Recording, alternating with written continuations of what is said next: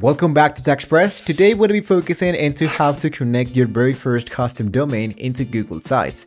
Why use a custom domain with Google Sites?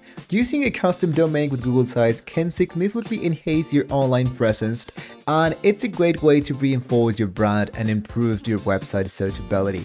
Before we begin, you ensure that you have a Google Site website ready and a custom domain purchased from a domain uh, register. Now let's start by preparing your domain for integration. First, log into your domain register dashboard where your custom domain is managed. You'll need to access the DNS settings of your domain to point into your Google site. For the demonstration of this tutorial, we're going to be using GoDaddy. So I went directly into my domains, go into my DNS, and once I am in here, I have the DNS management of my custom domain. Now let's head over to the Google site dashboard. Let's go here. And what I wanted to do is to go into the gear of the settings. And now let's focus into custom domains. Inside custom domains, let's go into add and enter the domain. It's going to be asking you to enter the domain that you wanted to start with.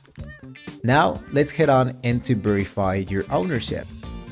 Here into verify your ownership, let's go into domain, choose once again the domain you wanted to add hit into continue and where it says checking verification it's going to be asking you to add the txt uh, type with the DNS configuration for this website. So that means I'm going to copy all of this information and paste it into my DNS server.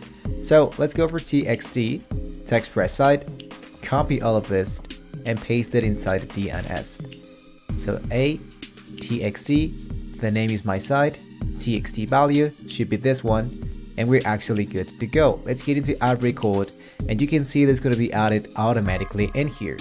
Now updating the DNS record. But into your domains dashboard, go to the DNS setting, make sure that the um, CNAME record provided by Google Sites is already been added automatically and manual of course.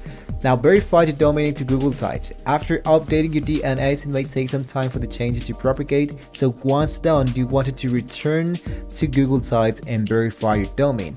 This step confirms that you are actually pointing your Google site website. Here it should be appearing your new connection domain. So how do I make sure it's actually work? Let's go here into the verification of the domain. So I'm gonna go and close this. I'm gonna hit into publish and after hit into published I wanted to make sure that I have all the things saved it. Hit into published I hit into my linked and I paste it into a new tab. Now sometimes this might be taking a few minutes even it can be taking up to 48 hours. You have now successfully connected your custom domain to your Google site website. This integration will help elevate your site professional appearance and brand presence. If this tutorial was helpful, please give us a thumbs up, subscribe to TechExpress for more web development guides, have any questions or experience with connecting a custom domain to Google Sites, share the thoughts into the comments below. Thank you for watching. Best of luck with your newly branded Google site website. Stay tuned for more tech tips and tutorials for TechExpress. Hopefully guys, we can all see you next time.